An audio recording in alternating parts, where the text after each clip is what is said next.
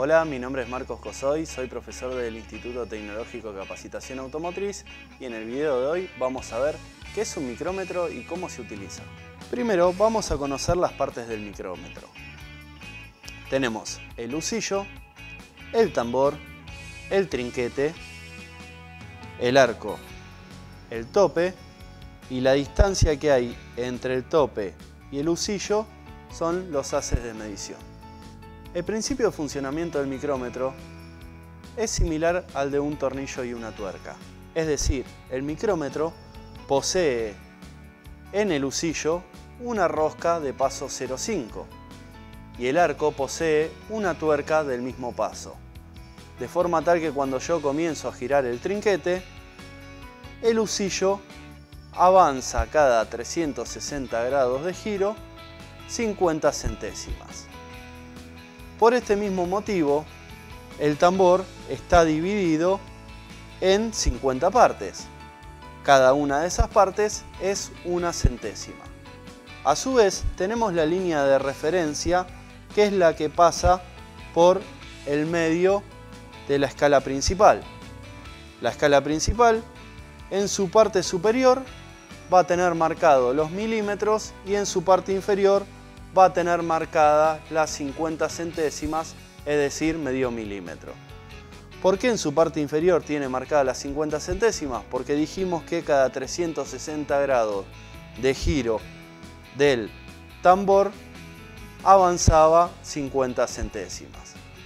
Cabe destacar también que los micrómetros miden de 25 milímetros en 25 milímetros.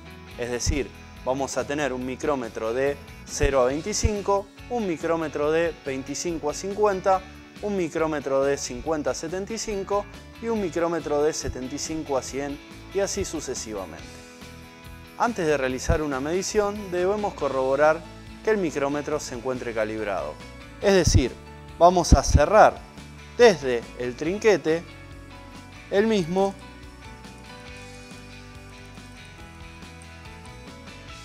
corroborando que el cero del tambor coincida con el cero de la línea de referencia. Para realizar una medición vamos a colocar entre el lucillo y el tope la pieza a medir y vamos a comenzar a cerrar el lucillo desde el trinquete. Es muy importante cerrarlo desde el trinquete para evitar ejercer una fuerza extrema.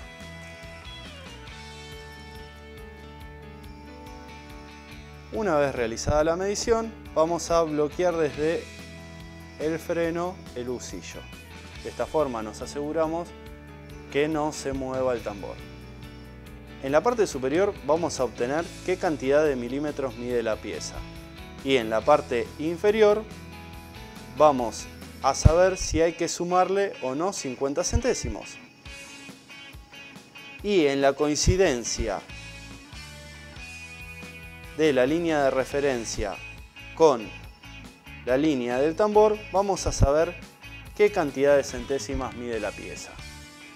Es decir, que en esta medición, si observamos donde el tambor corta la línea de referencia, vamos a ver que coincide en la parte superior en 15 milímetros. En la parte inferior no se llega a ver la línea de 50 centésimas, es decir que no las vamos a sumar. Y en el tambor tenemos que coincide en 11 centésimas. En este caso la medición sería de 15 milímetros 11 centésimas.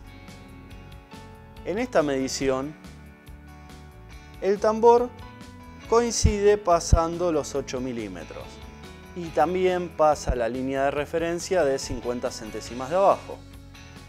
Y coincide en 35 centésimas el tambor con la línea de referencia. Es decir, que en este caso la medición sería de 8 milímetros 85 centésimas. Este fue otro video de ITCA TV. Nos vemos en la próxima. ITCA, formando tu futuro www.itka.com.ar